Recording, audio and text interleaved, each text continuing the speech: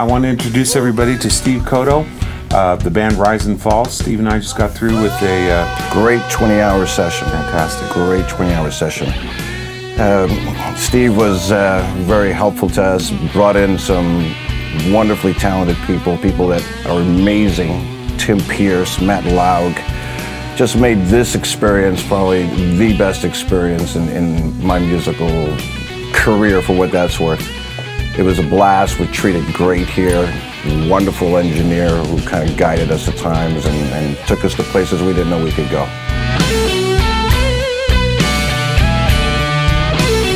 We brought you a piece of clay and, and, and you gave me a, a sculpture. I mean, for those of you someday that will hear some of this stuff, you'll, you'll get to see what I'm talking about or get to hear what I'm talking about. But the production here was outstanding. Like I said, we were guided, we were kind of taken to a place and said, go play, and, and, and that's exactly what we did, and, and it was so much fun.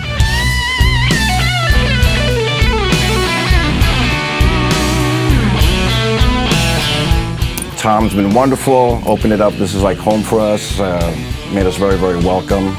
All the crew here was great. We wanted for nothing. It was outstanding.